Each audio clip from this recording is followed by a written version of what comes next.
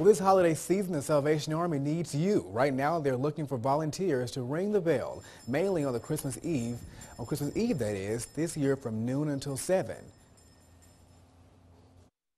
usually we, we just, you know, everybody's really trying to focus in on getting the gifts wrapped and doing that last minute shopping. So we tend to have that drop off in volunteers and it can be acute a bit.